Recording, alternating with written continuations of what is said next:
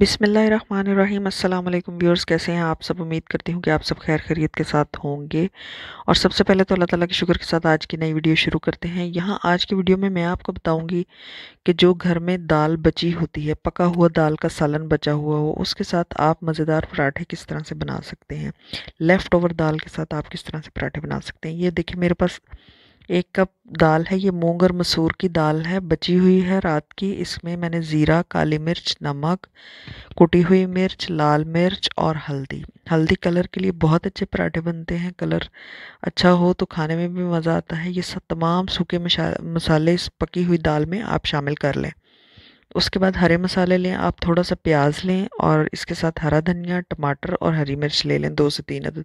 बारीक कटे हुए, चॉप किए हुए ये सारे मसाले इसमें दाल में मिक्स कर दें। अच्छी तरह मिक्स करने के बाद यहाँ पर आपने देखा है कि ये दाल की कंसिस्टेंसी क्या है? इसको अच्छी तरह से मिक्स करने के बाद आपने यहाँ पर आटा लेना है। आटा गेहूँ का है, गंदम का है मेरे पास आटा। ये मैंने एक कप आटा ले लिया है और इसमें मैं आहिस्ता आहिस्ता करके शामिल करूँगी। एकदम शामिल करने से ये इसमें गुठलियाँ बन सकती हैं। आप आराम से इसको शामिल करें और इसको आप गूंदते जाएँ। लेकिन यहाँ पे मैंने अपने हाथ का इस्तेमाल किया क्योंकि हाथ से ये अच्छा गूंजेगा और आहिस्ता आहिस्ता आप आटा शामिल करें। आप देख रहे हैं, जैसे कि मैं आहिस्ता आहिस्ता शामिल कर रही हूँ और इसको अच्छी तरह से गूंद के आपने अपने हिसाब से इसको गूंद लेना है। थोड़ा सा आपने बहुत ज़्यादा सख्त या बहुत ज़्यादा नरम नहीं रखना। आपने इस आटे को अच्छी तरह से दरमियाना सा करके गूंद लेना है।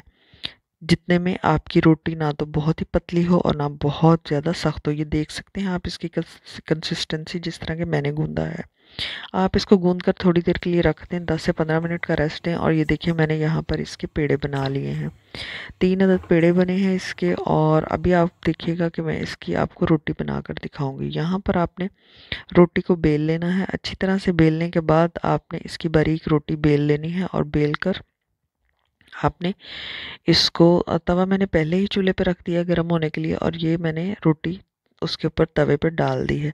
अच्छी तरह इसको सेंकने के बाद आप इस पर थोड़ा सा ऑयल लगाएँ या घी लगाएँ। घी लगाएँगे तो ये बहुत अच्छी बनेगी, लेकिन मैंने यहाँ पर ऑयल लगाया है। आप भी अपनी मर्ज़ी से ऑयल या घी का इस्तेमाल कर सकते हैं, जो चीज़ आपको पसंद है। ये देखें अब इसको आप पुलट पुलट करके अच्छी तरह से पका लें।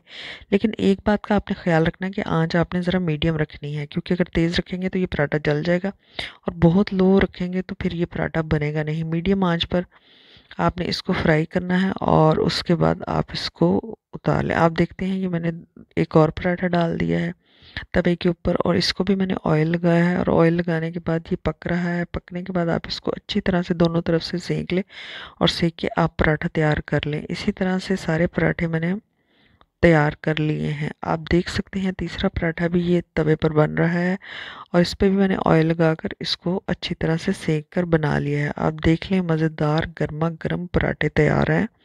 आप इसको, इन पराठों को हरी चटनी के साथ, चाय के साथ, दही के साथ, जिसके साथ भी चाहें, आप इसको खा सकते हैं। आपको बहुत ही मज़ा आएगा और आपके घर वाले तमाम लोग इसको पसंद करेंगे। अगर आपको मेरी वीडियो अच्छी लगी है तो लाइक, शेयर और मेरे चैनल को सब्सक्राइब ज़रूर कीजिएगा और दुआओं में याद रखिएगा। अल्लाह आपका हामिया नासिर हो। अल्लाह हाफिज़।